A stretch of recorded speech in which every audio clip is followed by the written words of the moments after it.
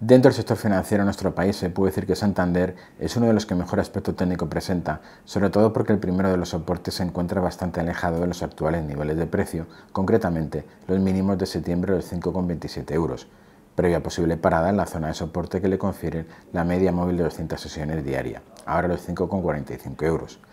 En cualquier caso, da la sensación de que el título estaría más cerca de querer atacar resistencias con una alta probabilidad de superarlas que de perforar soportes.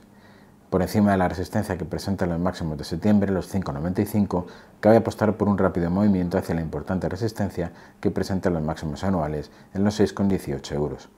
Si bien es cierto que un movimiento en busca de la base lateral no parece el escenario más probable de llegar a producirse, cabría interpretarlo como una más que interesante oportunidad para subirse al tren de las compras.